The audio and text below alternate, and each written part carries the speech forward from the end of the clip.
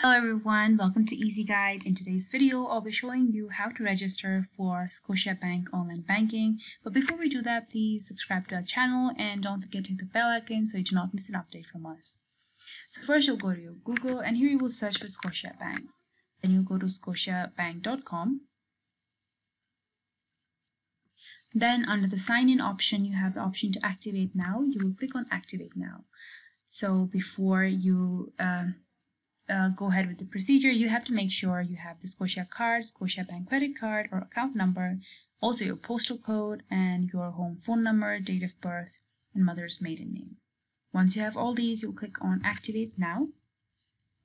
And here, if you have a debit card, you'll enter your card number, but if you have, let's say, a loan account, then you'll enter your account number, your first name, your last name, and your date of birth. Once you do that, you will click on continue then you'll create your username and password. So after that, you will agree to the terms and conditions set by the bank.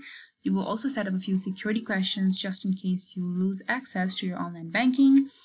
And uh, after entering a few other details like your email address, phone number, your postal code, your mother's maiden, your mother's maiden name, you will then be able to log in and you can start with your online banking process. So I hope this video helps you. Thank you so much for watching this video. Please subscribe to Easy Guide and don't forget to leave a like on this.